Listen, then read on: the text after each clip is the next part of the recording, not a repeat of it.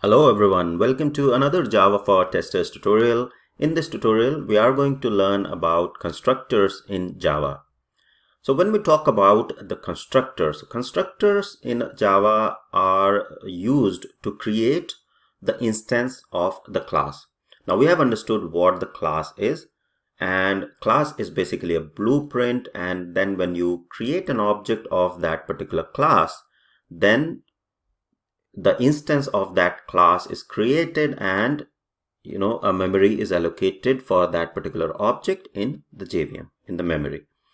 Now constructors are very similar or you, you they look very similar to the methods and the there is very minor difference between the constructors and method when you look at the constructor and method separately constructors do not have any return type and the name of the constructor is exactly same as your class name. So let me go ahead and create a class. So let me create a package first. I'll say com.rcv.constructors to demo all the information about the constructor. I'll create a class within this constructors package and I'll say constructor examples constructor examples.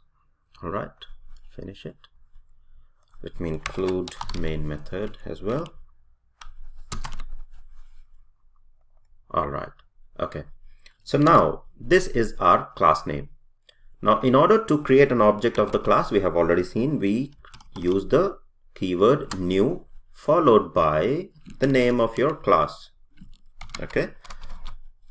So this creates an object in the memory and then we have the instance variable so I can say whatever name I want to give and this allocates a memory in the JVM. So if I run this particular, it won't print anything, but internally, whenever you create an object of a class, the memory gets allocated and a default constructor gets called by the JVM. So every object that you create in Java has the default constructor or the default constructor is implicitly called. Now let's talk about the types of constructors in Java. So we have already seen that there is a default constructor which is called implicitly whenever you create a new object. The other types are no argument constructor and parameterized constructor.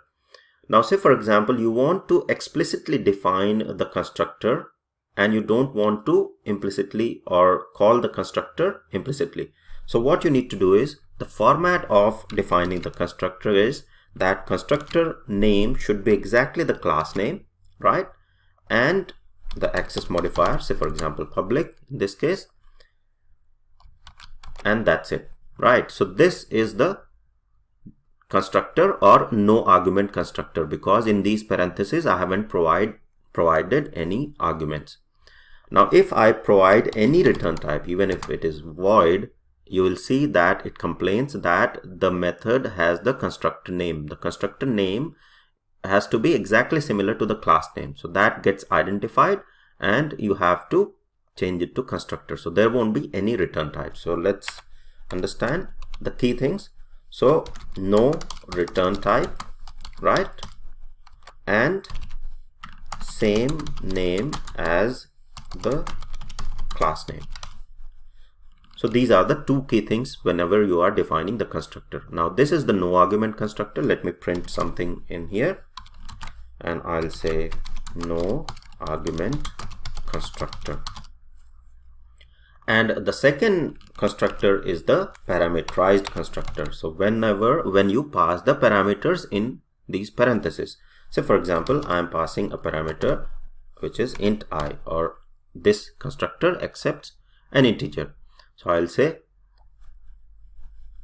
here integer or let me change it to integer constructor. Then I can have other constructor as well which can accept multiple parameters. So it can accept integer or two integers. So that's possible as well, right? And then other constructor which accepts other data type. So I can say string s in this case. So here I'll say two integer constructor and here I'll say string okay now I have four constructors which are explicitly defined in this particular class now the relevance of uh, defining the constructor explicitly is basically that you want to specify the values say for example you want to create an object of type square. So you have a square class. So square whenever you are trying to create an object of the square class it should have certain dimension right? So it should have the length. Only then it will create an object. Now if you don't specify the length while creating an object what it will do is it will allocate the memory but the actual value it will be either null or zero.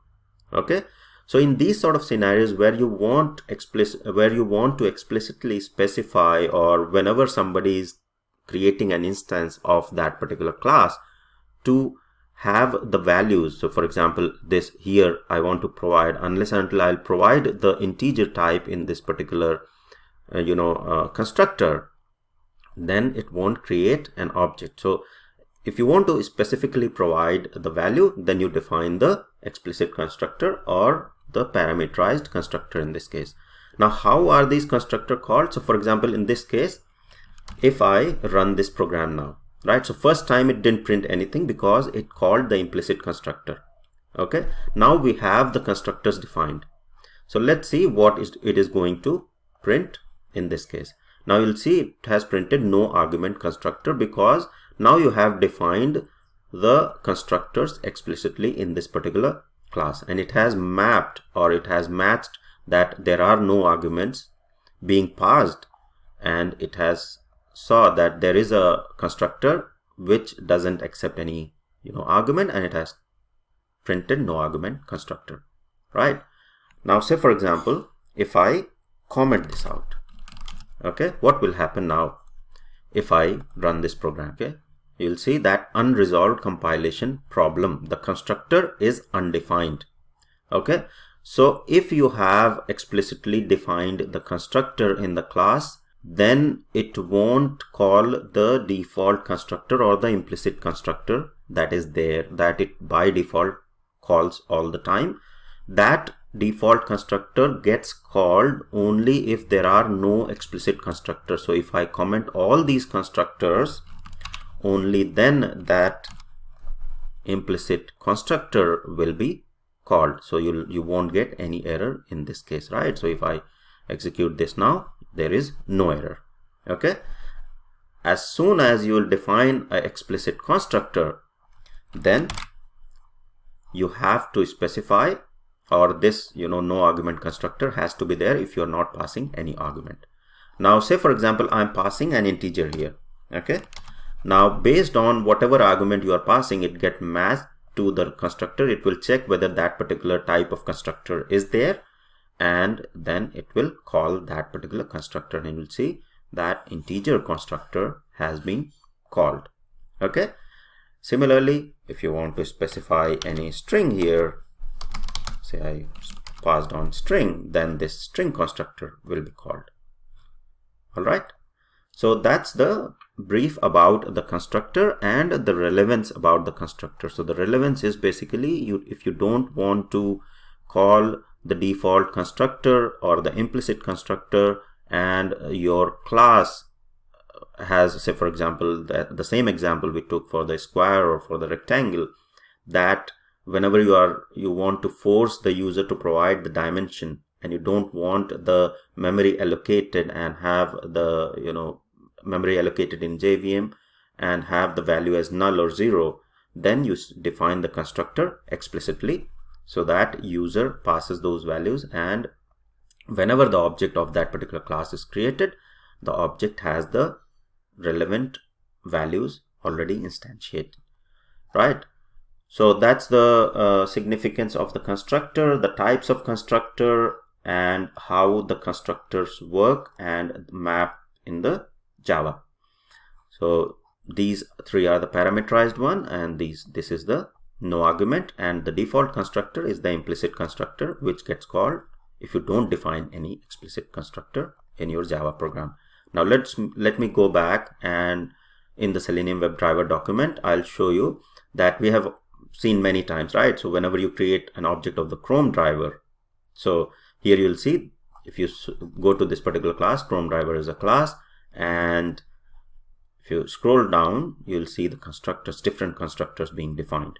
So Chrome driver, which is the no argument constructor, this is an explicit constructor, but what it does is it uses or it creates the new Chrome driver using the default server configuration. So whatever default server configuration for the Chrome browser is there on your you know machine that configuration that server configuration is being used to create the object chrome driver object right? If you call this chrome driver. The second one is this one is deprecated. Here you will see another constructor.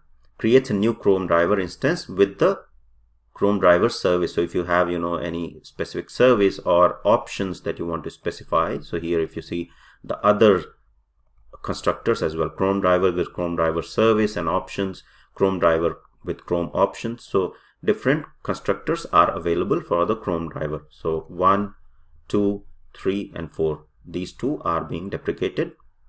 So four constructors are being still used for the chrome driver. Similarly if you browse through other um, drivers so firefox driver or edge driver you'll find similar sort of constructors which enable you to create an object with certain configuration right? So that's the whole point of having the constructor in java. So that's all for this tutorial. Hope you like it. Please do share and subscribe. Thank you for watching